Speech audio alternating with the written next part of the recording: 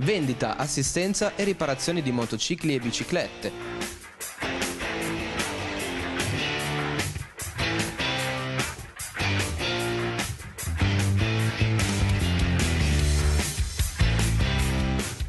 Ma anche abbigliamento moto e caschi.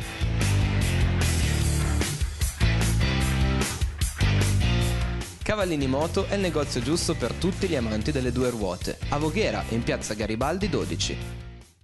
Buongiorno a tutti, benvenuti a Vox Populi. Anche oggi tre persone fermate in maniera casuale per le vie di Voghera risponderanno alla domanda sulla notizia del giorno.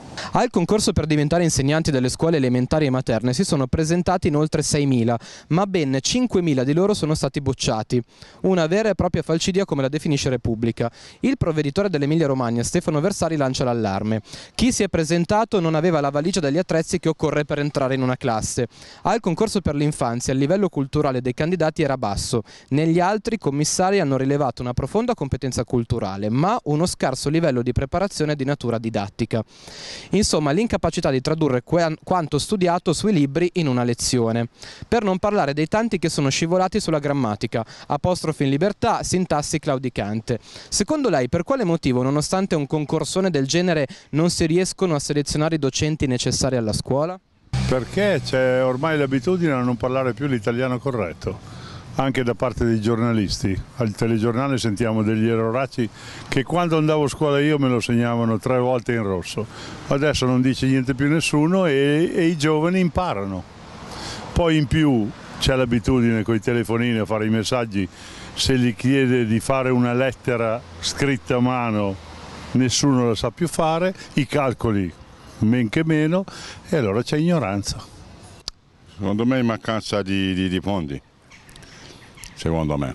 Di fondi? Di fondi, sì, perché non riescono a pagare tutti gli stipendi di questi insegnanti.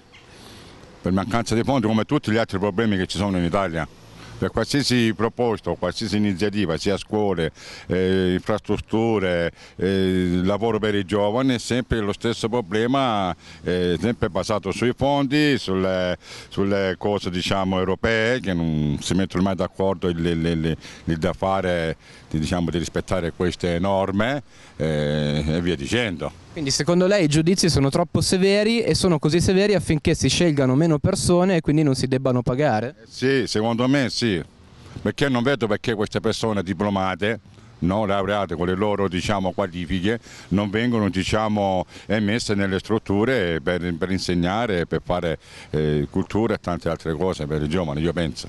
Ma io prima di tutto penso che eh, anche se loro erano preparati, ad affrontare un esame eh, si sono diciamo, messi a, so, a soccombere eh, le, le, le, loro eh, rispettive eh, modalità perché io vado in un esame a proporlo però eh, penso che ce la faccio e poi purtroppo è decaduto ecco, perché ci sono persone e persone in questo caso che eh, bisogna diciamo che loro purtroppo non hanno valutato l'accaduto.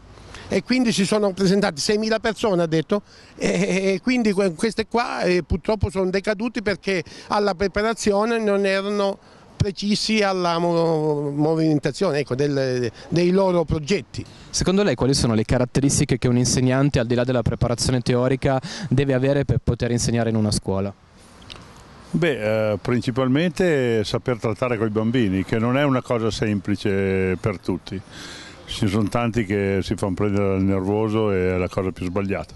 Poi sì, la preparazione da scuola ok, ma nelle scuole materne l'università secondo me non è che serva molto. Serve la lezione di vita che ti fa insegnare ai bambini come ci si deve comportare, che adesso poi c'è un'anarchia tra i giovani che fa spavento, data appunto dalla mancanza di, istruzione. Le caratteristiche che, che lei ha studiato, cioè, dipende dal suo curriculum come viene diciamo, presentato e come viene giudicato, dipende dall'insegnante e le sue qualifiche e se ci sono le strutture per fare la, la, la, il suo lavoro. Ecco, no, perché loro pensano di superare l'esame, però purtroppo l'esame che hanno avuto incombe con altre cose che loro non sapevano. Ecco, per questo io penso che loro non, non erano adatti a questo esame. Secondo lei un insegnante per poter insegnare a scuola che caratteristiche deve avere? Eh, Oltre alla preparazione teorica ovviamente. io, io so che bisogna essere preparati a determinati esami per andare avanti e capire l'esame che cosa comporta.